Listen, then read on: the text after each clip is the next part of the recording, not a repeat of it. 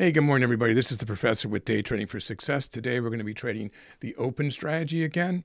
Um, so, this is the uh, what I consider to be the perfect layout um, for trading this type of a strategy. So, we'll go over that in just a second, and then we'll be doing some live trading, and I'll be doing a recap. Um, so this is this whole strategy is designed to last just a few minutes. And actually, remember, guys, I am not a licensed financial advisor. This is an entertainment channel only. So we're going to be giving you tips and tricks on how to trade and showing you demonstration videos. And then there's all kinds of videos on the channel for you know how to set up your scanners, your charts, how to get free layouts, how to get free, all these free custom scripts we have. Um, you know how to how to uh, um, see which way the market's going. And then there's the RV strategy, which is one of the most popular strategies out there. It's traded since last March. That we have tons of videos on how to trade that strategy, as well as different open strategies. This is a new one.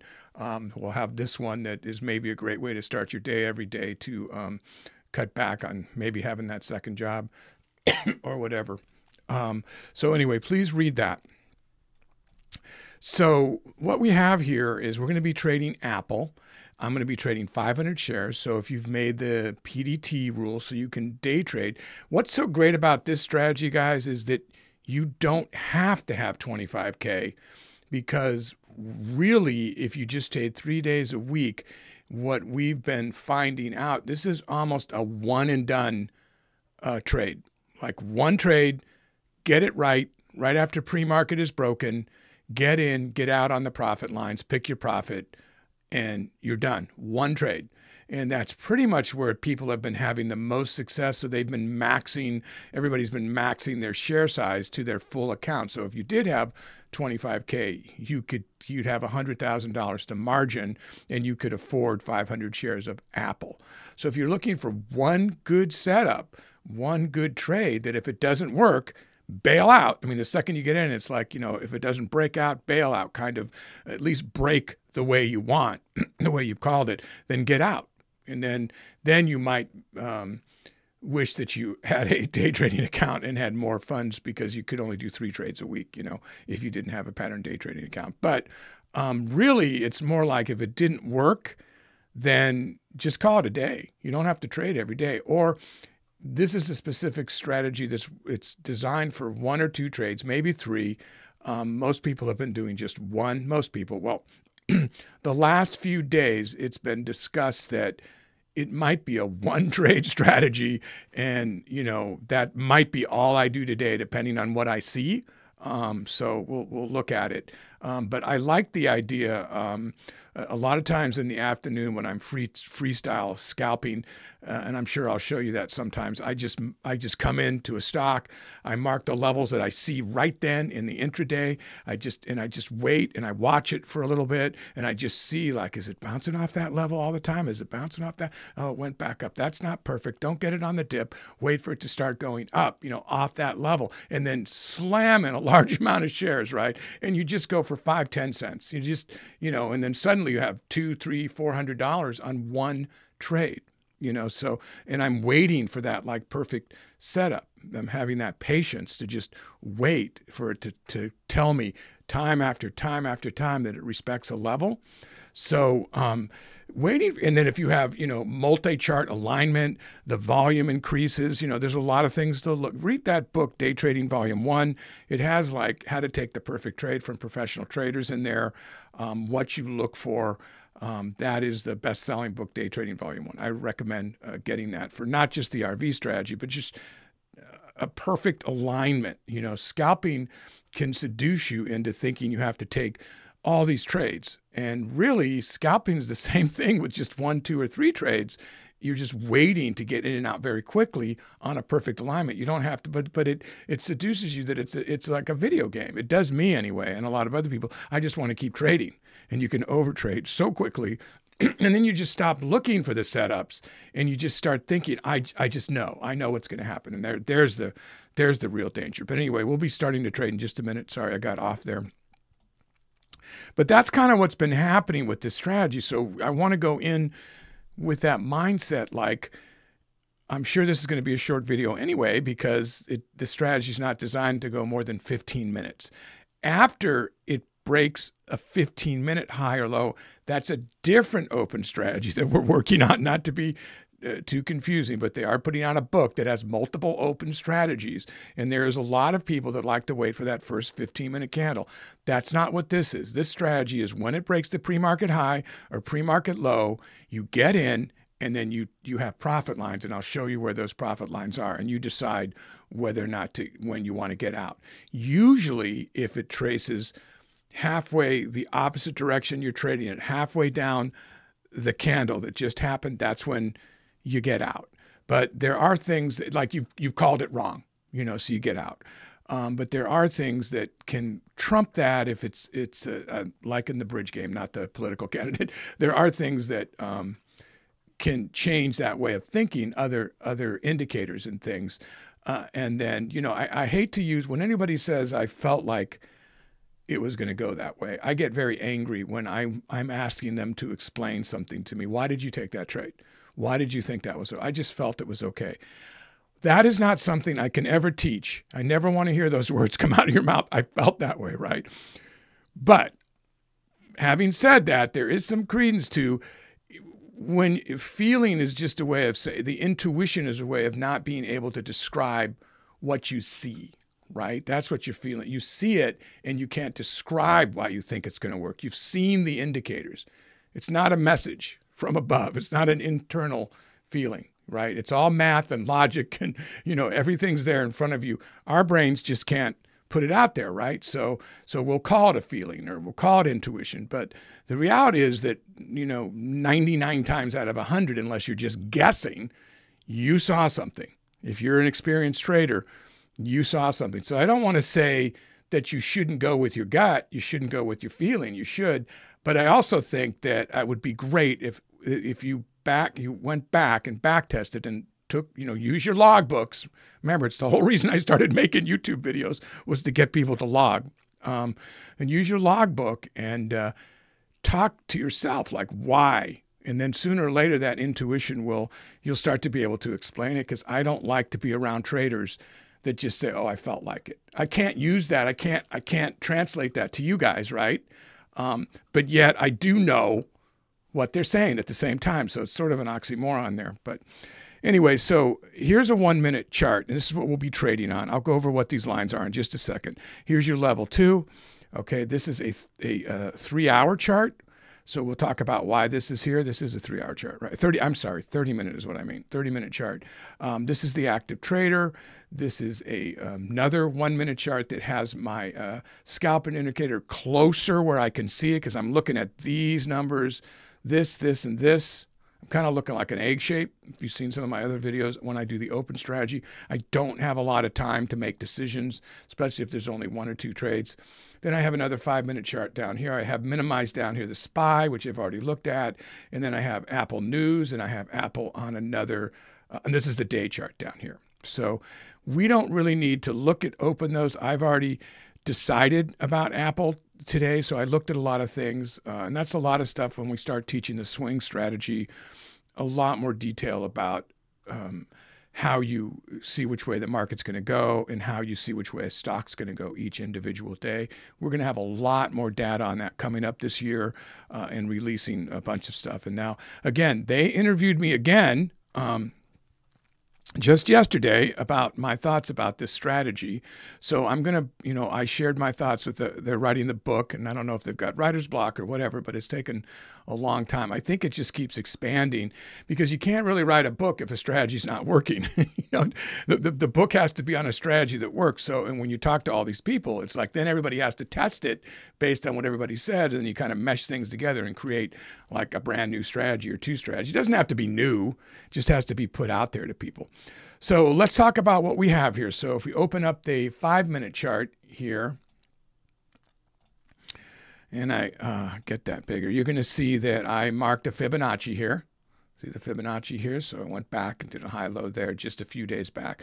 Then I went back further than five days. I went back 10 days back um, to mark profit because there just wasn't enough outside these. I should have showed you where I marked these pre-market highs and low first. We'll talk about that in sec- just a second. So wherever there is a pivot point on a five-minute chart, wherever you see multiple pivots I'm going to say that's a potential area where the stock could stop, rest, or turn around, um, or go rest and go back forward. So if you're trying to do a quick scalp, you're looking to get a profit right then, and then look for re-entry.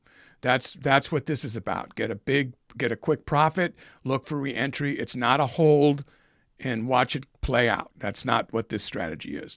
So when you look at the um, profit down here, there was a lot of different areas that were marked that I picked up on down here too to take profit. So um, and that is the pre-market low, and this is the pre-market high. So at first earlier, it seemed like it might be that we were going to trade up here, uh, and now it looks more like we're going to be down here trading, taking profit down here. Now, if it is already broken the pre-market low, then we go for the next line is considered to be the low, the next level, and then we trade, we enter off of that. So right now, actually, I don't know where we are on this. Uh, okay, so we're back up through it again. So where do we mark the pre-market high and low?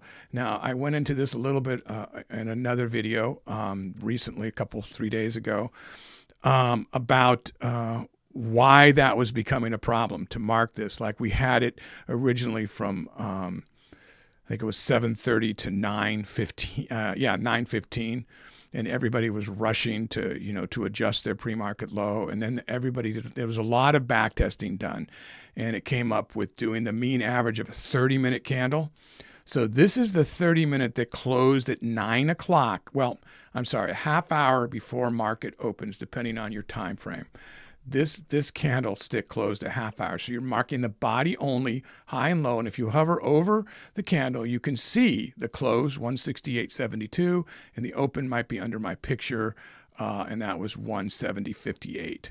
So uh, as you can see, those are 170.58 and then 168.72. Um, and it says it right there. So you can find it without having to kind of guess it says it up there by near my picture.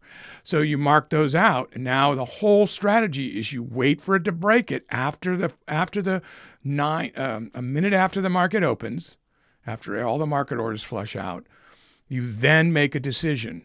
And you if you're up in the middle here, you got no play till it breaks the pre-market low or the pre-market high. So the whole idea of the strategy is that it's creating an inertia powerful enough to break the pre-market high and pre-market low and then you have a short period of time, logic would tell you to jump on that moving wave and make some money. So I do have a, um, a group with me here today, and we're going to be doing that, trading that way, and we have just a few minutes. But that's how I just, and it's white in here because if you're in between the pre-market high and the pre-market low, you should not be taking a trade according to this strategy. I started to mark them, and I just thought there was there was no point. Just going to tell you guys it was running out of time. But um, but anyway, and then these you don't have to mark profit. I made them red. That means short. Green means long because you're pre- breaking that. So it just depends uh, which way you're going to go. Uh, let me just zoom in here a little bit here.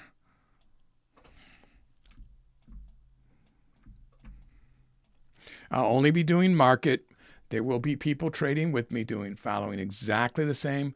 Uh, they take their own trades. Remember, I'm not a financial advisor. Yeah, we get we're having some real redonkulous pre-market action. That did not happen. So, uh, and over here it's red. so, uh, on, a, on the one minute. Um, so, how are we reconciling here? It appears to be. It's our market maker. Yeah, that's that's of course that's market, not uh, limit. So yeah, I shouldn't even be looking at that's not moving. So here's your ask and bid over here. And that is uh, right on. So that's right on. Okay. So we just wanted to make sure there were no, when I saw that big shadow wick, I got a little concerned we were having some reconciling issues. So I'll be looking at the scalpers indicator a little bit, uh, particularly before I take the opening trade. So this is free on this channel, along with this layout. A couple of videos back, I gave a free uh, how to get the link for this layout and this script. So just read the uh, thumbnails. Um, this is an amazing. Everything on the channel is free, by the way, guys. All the videos you can watch about so many different things. Minute and a half, guys. Um, So it looks like we may be going in immediately because we've already broken this. So then we just need it to break this if it hasn't by the time, or the next one down, and then we go in. But we do want to wait a minute. We have to wait a full minute. So it'll be over here that we start to take our trade on the open session is the dark black. We have one minute to go. Suspense is building. and uh,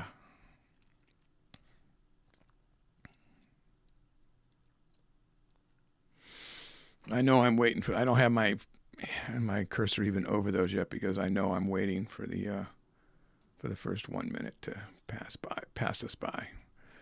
So just about 30 seconds, guys. We'll be starting. Hopefully, you understand how I did the layout. I basically just need a five minute chart to do your Fibonacci, your profit.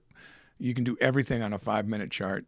Um, lay out all these lines, or even a one minute chart. Really, honestly and just mark it out. And now you're kind of going for one, two, or three trades. Uh, you're totally done in 15 minutes.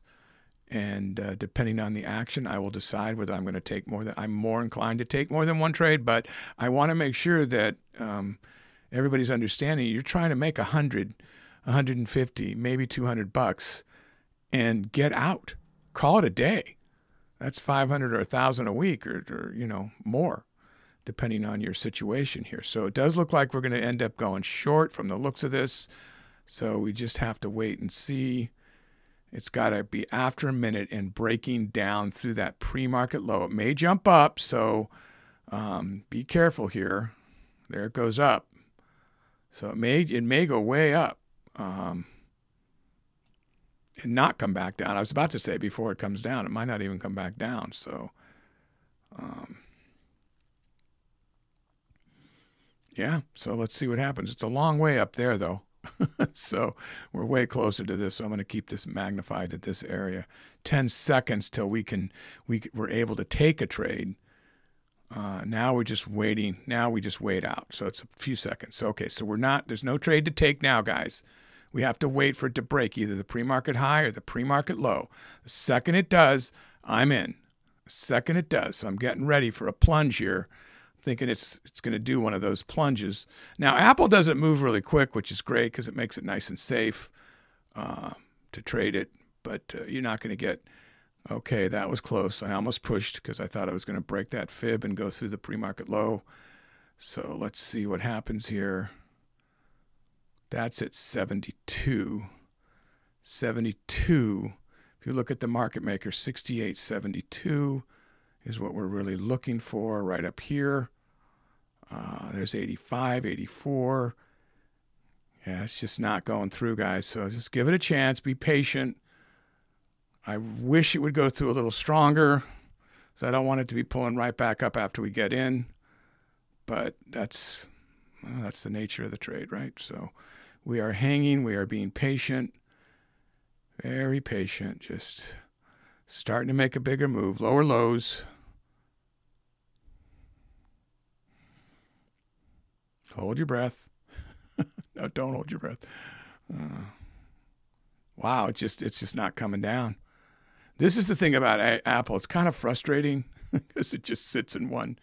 But for this kind of strategy, it's really safe, which is great. So it's safe to trade large share size with this kind of strategy. So, man, I almost pushed it again, thinking that it was going to break it, but it didn't. There. Oh, that wasn't it. Sorry, guys. I went in too soon. I saw the seven. So let's let's hope it breaks it, or I, I've broken the rules. So you really should not go in until it breaks. I I was a trigger finger there. Okay. Well, at least I got redeemed. I would go in now. So my position's a little better than it would have been had I followed the rules. Sorry, it's at 80. It actually popped up to 80, so it should be 72. So there's the first profit I could have taken 130. Yeah, I got to start concentrating on what I'm doing here. Um, so now the next line is one. I'm going for a bigger profit. So I would ride it to go halfway up this before I get out if, if I've called it wrong. Um, halfway up this big candle. Um, now I'm looking to get down here. I will look at the, uh, let me just see what we got here. I'm going to look at the scalpers indicator here to try to help me out here. A lot more volume going up than down right now, which is not, you see this high one was an upward move. Whoa! There you go. So remember, you got to cover, you got to buy to get out here, guys. So that was very tempting to take it at that, but it's a strong move, so I'll go for the bigger money. Now this is where you're happy. You're good to get out, and you've made a nice trade for the day. You're good to get out right here. So I'm looking for this double line to get out. That's where I'll absolutely call it a day on that double line. We've got a double resistance there. So did it hit it? It one, two ish. Yeah. Oh, pulled back. Oh, I should have grabbed it there. Um, 240. I'm looking at my money. 270. I'll take that. Okay. So I'll take that at 260. So now, really, I the way the strategy reads is that you want it to break up where you just came through and then come back down again before you get in. I've been finding I prefer, and I've only traded this particular tra- strategy five times now. I've been finding that I want it to go up past there and come back down again, past the pre market. I've found I've had better luck than trying to churn in here because these stocks do not give me the range I need. They're very low ATRs. This is 3.5 rough roughly ATR. Now, another way to trade it was to go through once it broke those lines and go in, but again, I've been finding that not too accurate either because um, you're like kind of chasing it. Um, so the first trade, this is why people are saying one and done a lot, that the first trade seems to be the best trade on this. And that is not bad for a day. All right. So that's that's not bad times five. If you could do that five days in a row. Uh, or even, you know, fifty dollars one day and two hundred the next and so on. So you can get up to eight hundred, a thousand a week before you know what happened, you know, three, four thousand a month. Um, there's the mortgage payment, car payment, food, you know, however you want to look at it, however your lifestyle is. Now, this strategy is not to play a reverse. This is not, we do not have any data that says what to do here. Now, you could look at volume. You know, you, you, there's other things you could do. I'm sure there are people that are telling you they have an indicator that told you to do that. But how accurate is that indicator? I've got no clue. So, this is why the back testing is is by so many different professional traders is, is it really helps you know so um, to me that felt like a no-brainer I, I realized that i could have lost the profit and it could have gone back and kept going and then I would have taken a small loss, but I was going for a winning trade, and I understood that halfway through that could have been my downfall, which would have been 500 shares times, uh, you know, that would have been about 10, 20, maybe 60 to 70 dollars I would have lost, as opposed to making 260. So I had my eyes on this from the very beginning, um, but I, the way this was going to react might have made me take the profit here. The way that it bounced through here and here at the same time um, told me that um, hold it, you know, and it hit here and came back. Um, but with this candle opening here, I'm like, just just give it a second, and then there it went. You know, I had a feeling. No, I'm kidding. I didn't have a feeling. Um, so. Um, so guys, that's that's the strategy. That's this is going to be a short video because um, you know, I kind of just went back over what I just showed you, which is how I traded that. So, you know, there was touch and go, and this is where you want the patience. You know, I did go in a little early, so really, technically, that should probably be 230 or something. Uh, what was it? Eight cents early. So that would have been $225 had I followed the rules. You don't know with, there's not going to be much slippage. I mean, there's a penny spread, sometimes two.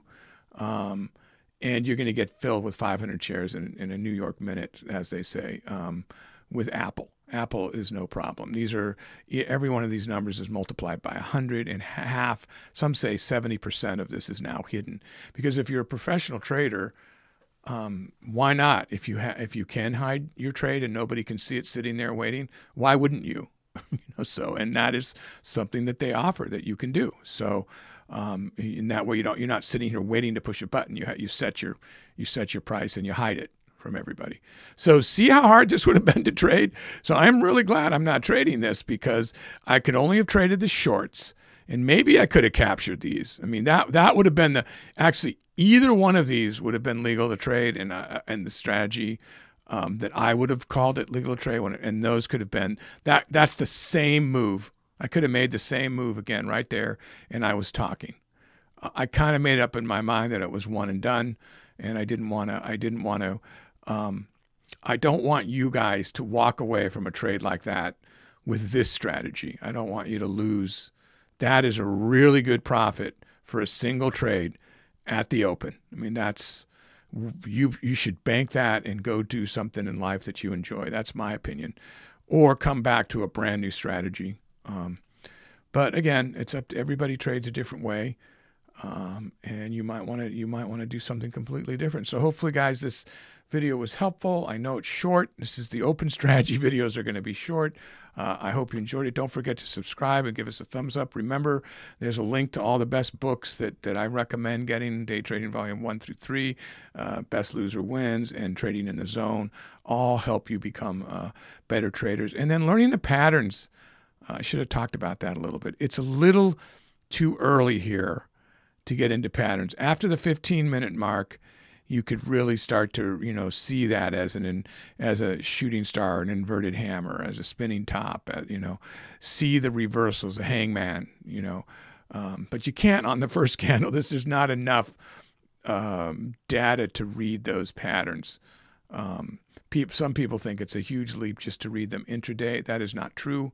Uh, studies have definitely shown that. And they're in the book, the Day Trading Volume Two, they have a rating system, which is you're definitely going to want to get that. And then um, if you go over to the Million Dollar Margin Club's channel, which is the one that the scalping indicator is from, so it's million hyphen, not those, it's a hyphen, million hyphen dollar hyphen margin club's channel. Um, they have uh, they're the ones that started the shorts over there with John Bolbert that shows you the patterns to, to, to read and to guess, as well as the review of the books uh, on video, which is really cool. So I would check out that channel um, and join their join their club. I know that when we stream, those, are the first people that I'm going to be inviting, the ones that are in that club that are helping the, the book sell. Um, but anyway, guys, um, thanks for watching and stay green out there, stay inquisitive, and I will see you down the road.